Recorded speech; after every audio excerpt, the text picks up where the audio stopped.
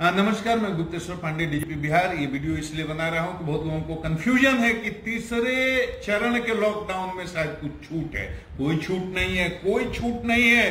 तीसरे चरण का लॉकडाउन भी वैसे ही है जैसे पहले चरण का लॉकडाउन था आम आदमी के लिए कोई छूट नहीं है। केवल ऑरेंज जोन में कुछ कंस्ट्रक्शन एक्टिविटीज़ कुछ सरकारी कामकाज के लिए अलाउ किया गया है।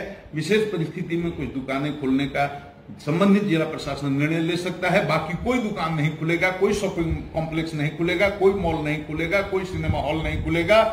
कोई भी नाई की दुकान, सैलून, तंबाकू, पान, गुटखा दुकान कुछ भी नहीं खुलेगी। स्कूल, कॉलेज, कोचिंग इंस्टीट्यूट सब बंद रहेंगे। पहले ही की तरह।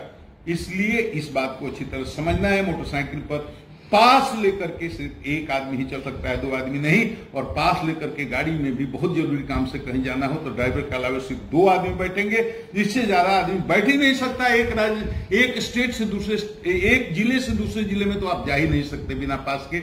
बहुत ज़रूरी होने पर मेडिकल ग्राउंड पर आपको पास इशू होगा, लेकिन उसमें भी ख्याल रहे, ड्राइवर के अलावा सिर्फ़ दो आदमी।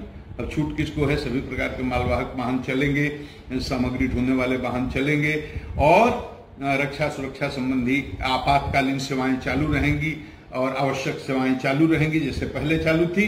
मजदूर भारी संख्या में आ रहे हैं हमारे भाई, बाहर से बहुत परेशानी से आ रहे हैं। बहुत परेशानी, बहुत कष्ट को उन्होंने भोगा है, झेला है। उनकी पीड़ा से हम अवगत हैं, उनसे हाथ जोड़कर प्रार्थना करते हैं। कि यहाँ जो व्यवस्था बनी है उसके अनुसार सहयोग करेंगे, सीमा पर आएँगे, उनकी स्क्रीनिंग होगी, उनके खाने पीने की बहुत ही अच्छी व्यवस्था है। सम्मान के साथ उनको उनके ब्लॉक में ले जाया जाएगा। वहाँ क्वारंटाइन सेंटर बना है, वहाँ वो रहेंगे, खाएँगे पिएँगे और जितने समय तक का समय बिताना है, उतना बिता करके सुरक्षित अपने घरों को जाएँगे।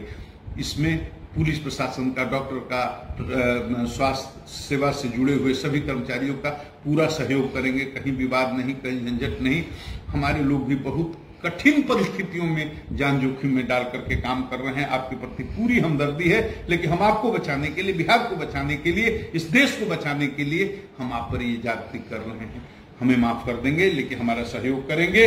बेटे बेटियाँ छात्र छात्राएँ देश के कोने कोने से आ रहे हैं। वो भारत के भविष्य हैं, भारत की तकदीर हैं, बिहार के आन बान शान है। उन्हें तो बहुत ही मर्यादा का, बहुत ही अनुशासन का पालन करना है। और पुलिस पर हमले भी कहीं कहीं हो जाते हैं। मैं उन लोगों को कहना चाहता हूँ कि पुलिस पर, प्रशासन पर और मेडिकल के कर्मचारियों पर कोई भी अगर हमला करता है, बहुत ही जघन्य अपराध है, उनके साथ सख्त कानूनी कार्रवाई की जाएगी।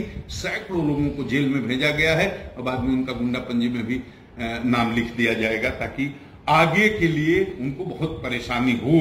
और उसी तरह से सोशल मीडिया पर गलत पोस्ट करने वाले, सांप्रदायिक दंगा या फसाद की स्थिति पैदा करने वाले, नफरत फैलाने वाले, जो पोस्ट करेंगे, सैकड़ों लोगों को हमने जेल भेज दिया। आप दिल्ली में हो, मुंबई में हो, अहमदाबाद में हो, देश के किसी कोने में हो लेकिन इस तरह का पोस्ट अगर करते हैं, मुकदमा होगा, आपको आज नकल पकड़ा जाएगा गुंडा रजिस्टर में आपका नाम दर्ज होगा, आपका चार्जशीट करेंगे, स्पीडी ट्रायल कराएँगे, सांप्रदायिक सद्भाव को किसी भी हालत में बिहार में बिगड़ने नहीं दिया जाएगा। यह वीरों की धरती है, शांति की धरती है अहिंसा की धरती है, बलिदानियों की धरती है। ये पीरों, मौलवियों और साधु संतों ऋषि मुनियों की धरती है। इस धरती की गर्मा को बनाए रखने में हमारा सहयोग करें और बिहार की जनता को मैं प्रणाम करता हूँ कि आपके सहयोग से ये लॉकडाउन सफल हुआ है। आपके सहयोग से ही अभी तक बिहार बचा है। बचाएँ, आगे वाला समय और खतरे का है। बहुत खतरा सामने है। अगर आप अगले पंद्रह बीस दिन तक बिहार को बचा लेंगे तो हम सब बच जाएँगे। बिहार बच जाएगा, ये देश बच जाएगा। आप सबको प्रणाम।